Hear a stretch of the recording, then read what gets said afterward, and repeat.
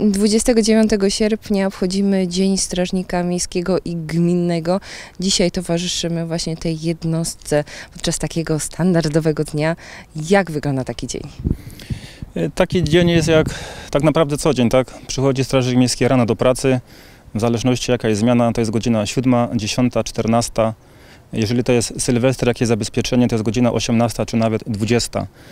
E, Jest odprawa, po odprawie właśnie pracownicy mają zadania do realizacji, pobierają strażnicy sprzęt, wypisują samochody i wyjeżdżają, wyjeżdżają w teren właśnie realizować to, co im kierownik zlecił. A dlaczego akurat ta data 29 sierpnia jest no, datą taką szczególną dla Was? 20 29 sierpnia 1997 roku posłowie uchwalili właśnie ustawę o strażach gminnych i to jest przyjęte jako właśnie dzień powstania naszej jednostki Straż Miejska. Jest tym dniem właśnie, kiedy jest to święto dla wszystkich strażników miejskich w całej Polsce. Jak będziecie ten dzień świętować? No jest to dla nas taka bardzo fajna uroczystość. y, To jest dla nas dzień y, galowy. Także będzie na pewno odprawa z panem komendantem, y, gratulacje, wyróżnienia, awanse. Także cieszymy się, że jest takie święto dla strażników miejskich. Y, Tak naprawdę Straż Miejska jest od tego, żeby mieszkańcom pomagać, służyć im w codziennym y, życiu. Y, W Gliwicach nie jest tak, że strażnik miejski tak naprawdę czyha na kierowcy, żeby mu na przykład wypisać mandat, czy usunąć pojazd, jeżeli jest źle zaparkowany. Jeżeli jakiekolwiek akcje prowadzimy w Gliwicach, najpierw zawsze jest taka akcja promocyjna, informująca mieszkańców o naszych działaniach, żeby ich właśnie wyedukować, że psy prowadzimy na smyczy, że po piesku trzeba posprzątać. Dawajmy te dobre przykłady naszym dzieciom, bo niejednokrotnie jest tak, że dziecko w przedszkolu mówi, że mama przechodzi z nim na czerwonym świetle, bo akurat nic nie jedzie. To jest zły przykład. Jeżeli będziemy jako rodzice dzieciom dawać dobre wzorce, to ja myślę, że Gliwice będą miastem bezpieczniejszym, czyściejszym i będzie się wszystkim nam tutaj żyło bardzo dobrze. Za rok będziecie obchodzić okrągłą rocznicę 25 lat, ale czego Wam życzyć w tą sobotę? Ja myślę, że przede wszystkim chcielibyśmy lepszego zrozumienia wśród mieszkańców, że tak naprawdę my jesteśmy od tego, żeby im pomagać. Czasami Straż Miejska ma takie jakby negatywne opinie. Mm, Tak naprawdę pracujemy nad poprawą naszego wizerunku. My jesteśmy od pomagania. To do nas dzwonią mieszkańcy, że ktoś pod sklepem pije, tak, że ktoś wyprowadza pieska bez nadzoru. Y, Przypomnę tylko, że prawie 40 zgłoszeń, y, 40% zgłoszeń dyżurnego są to zgłoszenia komunikacyjne, tak? Mieszkańcy zgłaszają problem, że pojazd jest źle zaparkowany, że jest zablokowany chodnik, że osoba niepełnosprawna nie może na swoje miejscu zaparkować. Dlatego też czasem nas jakby mieszkańcy widzą, że tylko zajmujemy się jakby komunikacją i tymi wykroczeniami. Natomiast to są działania właśnie na potrzeby mieszkańców. Pouczam wszystkich o zasadach zajmowania dekoracji używania przepisami o używaniu urządzeń zgodnych z ich przeznaczeniem, a w razie uszkodzenia o poinformowaniu przełożonego. Y, Jak każdego dnia przed pójściem do pracy w teren strażnicy miejscy mają odprawę ze swoim kierownikiem. Y, Spotykają się tutaj na sali odpraw. Jest kierownik, strażnicy Wydziału Dzielnicowych, Wydziału Prewencji, Wydziału Profilaktyki i Komunikacji Społecznej i kierownik odprawia zadaniowo każdy patrol, żeby wiedział, jakie ma zadania w tym dniu do realizacji. Y, Tak naprawdę Wydział y, Prewencji jest do dyspozycji dyżurnego. Jeżeli dyżurny otrzymuje zgłoszenia, to właśnie wys- wysyła ten patrol do realizacji tego zgłoszenia. Natomiast kiedy nie ma zgłoszeń, właśnie to Wydział Prewencji realizuje zadania, które mu zleca kierownik. Natomiast dzielnicowi mają swoją pracę w swoich rejonach służbowych, gdzie tak naprawdę pomagają mieszkańcom w rozwiązywaniu ich problemów, które ich na co dzień dotyczą. Są to właśnie wyprowadzanie piesków bez nadzoru, spożywanie alkoholu, kontrola numerów porządkowych. Również dzielnicowi mają stały kontakt z radami osiedlowymi. Wszystko po to, żeby było w tych dzielnicach czysto i bezpiecznie. Czyli teraz e, patrole udają się w teren. E, Dokładnie. Po odprawie patrole pobierają właśnie sprzęt służbowy, radiostacje, aparaty fotograficzne, wypisują y, samochód służbowy i wyjeżdżają w teren. Czyli co, a my z nimi.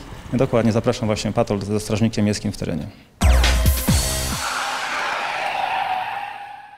tam przeciągnęli się mieszka 29 tutaj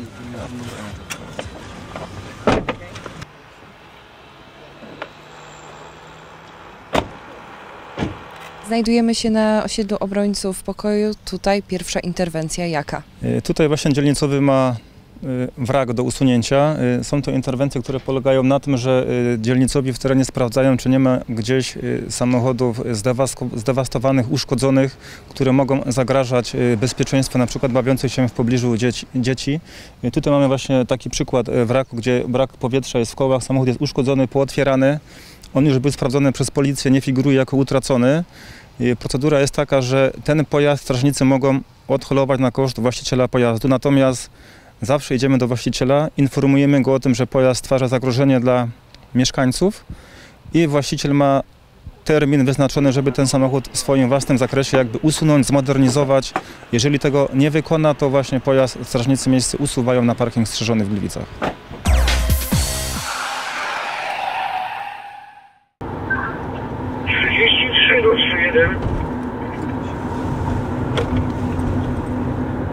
Zgłasz się 3-3 i 4-4. No witam panowie, panowie taka prośba. E, ulica Tarnogórska, prosiłbym o sprawdzenie oznakowania przy SP7. Dobrze, udajemy się na miejsce.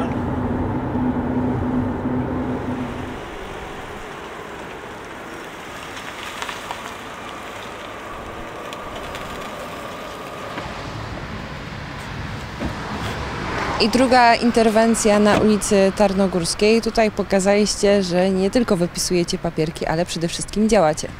E, Okazało się, że dyżurny otrzymał zgłoszenie od mieszkanki Gliwic, która właśnie zgłosiła, że jakiś znak jest uszkodzony przy szkole. Zbliża się rozpoczęcie roku szkolnego, dlatego, też patrole Straży Miejskiej sprawdzają oznakowania w pobliżu placówek oświatowych, y, znaki drogowe, sygnalizator czy nie jest uszkodzony oraz barierki ochronne czy nie są uszkodzone.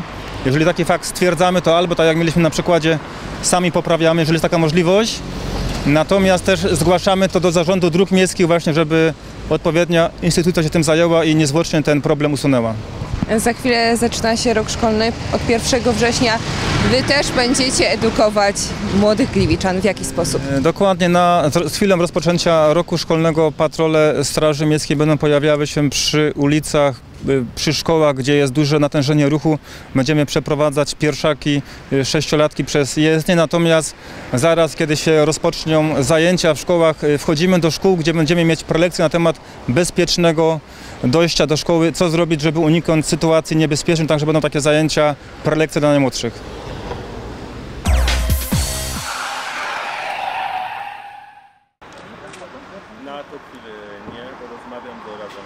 O co Pan zapytał? Ja zapytałem o sprawy rodzinne, zapytałem o sprawy związane z dziećmi, dlatego że panowie strażnicy bardzo często są w sytuacjach e, rodzinnych, interweniują, pomagają, uzupełniają pracę opieki społecznej, uzupełniają pracę policji. Niekiedy są pierwsi na miejscu reagowania tam, gdzie dzieje się krzywda e, dziecka, gdzie nie zawsze rodzice mają kręgosłup moralny. Różnego rodzaju tego typu sytuacje. Czyli ceni Pan wysoko ich służbę. Tylko i wyłącznie dlatego, że są pięknym przykładem na to, jak należy, powinna być wyglądać podstawa obywatelska. Czego Pan im będzie życzyć? Bo za chwilę będą mieli 24 lata. E, przede wszystkim tego, żeby dalej tak pracowali, jak pracują i żeby dalej pracowali dla ludzi. No i oczywiście wszystkiego dobrego i jak najgorszych e, interwencji jak najmniej. Typu właśnie te, które są związane z dziećmi, te, które są związane e, z nieodpowiedzialnością ludzi dorosłych.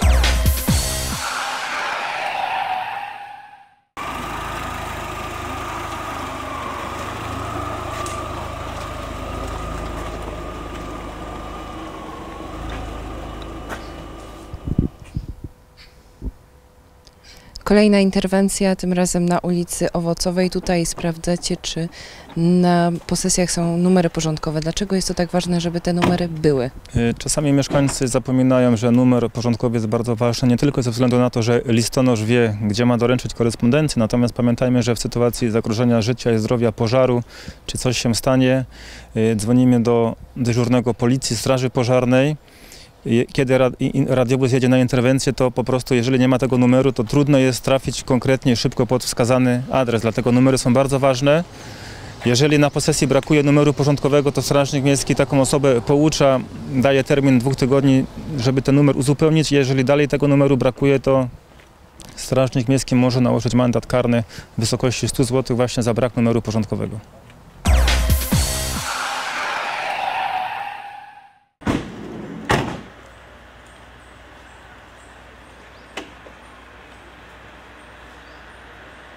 Teraz znajdujemy się w parku Chopina, ale nie przyszliśmy tutaj pospacerować, tylko posprawdzać, co takiego.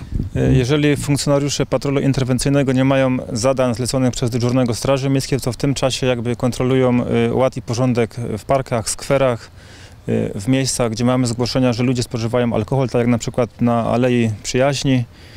E, Także te miejsca kontrolujemy. Jest również teraz prowadzona jeszcze akcja Bezpieczne Wakacje i do końca sierpnia sprawdzamy też e, kąpielisko leśne, ośrodek wypoczynkowy w Czechowicach i tak zwane dzikie kąpieliska, czy osoby się nie kąpią w miejscach niedozwolonych. E, Jesteśmy w parku Chopina i tutaj przed bramą jakby z Konopnickiej e, wyjeżdżał Sienkiewicza. Jest studzienka kanalizacyjna i wokół niej był beton, który jest skruszony. No może ktoś potknąć się i zrobić sobie krzywdę, także musiałyby to służby e, naprawić.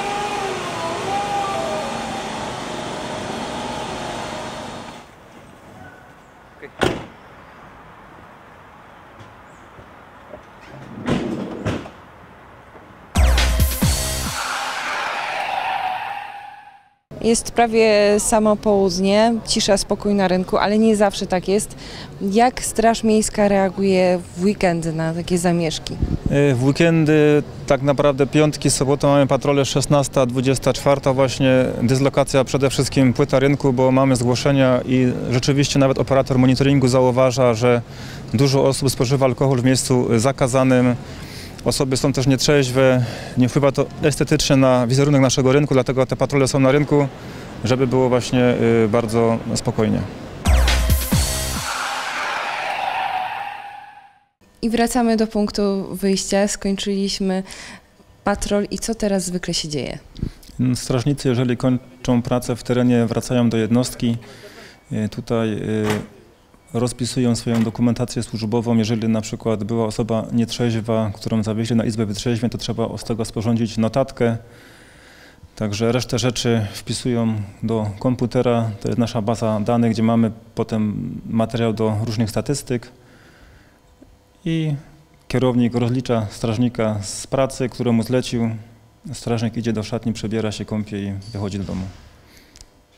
Dziękujemy bardzo za możliwość wzięcia udziału w patrole. Dziękuję bardzo.